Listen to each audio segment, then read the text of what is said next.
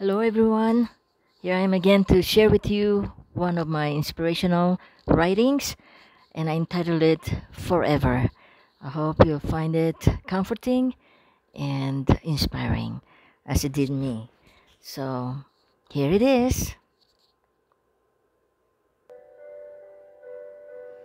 Forever. You are the strength of my soul forever you will be, the one and only till I die. For you are all I have. With you, I can make it through. With you, I can survive the life I know. With you, everything is beautiful from the moment you took me in your arms.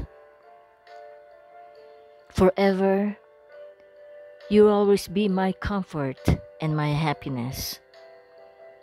To know you is to give up my life for you, for you did it for me, my Lord.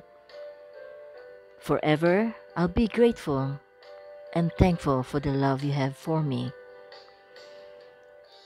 For when my life is over, Lord, once again, Take me in your arms, for it is there that I belong. Your tender loving cares fills my life. You surround me with your grace and beauty. Forever I am yours. By Juliet Rosales Sariola Martin. I hope you all liked this and enjoyed it. Take care. Until next time. And don't forget to uh, follow me on my YouTube channel under Juliet Martin. God bless us all. And always remember, God loves you.